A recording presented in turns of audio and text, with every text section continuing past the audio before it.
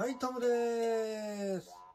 今日は、なぜマラソンが42.195キロかという、なんでこんな中途半端なのかということについてお話しするね。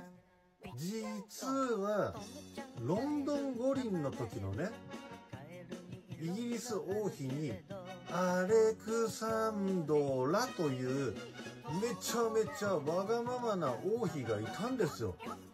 その王妃がね、マラソンのゴールは私の目の前にしなさい。ゴールは私の目の前でするようにって言い出しちゃったから42.195キロという変な距離になっちゃったんですよ。そんな感じでした。友達にも教えてあげてね。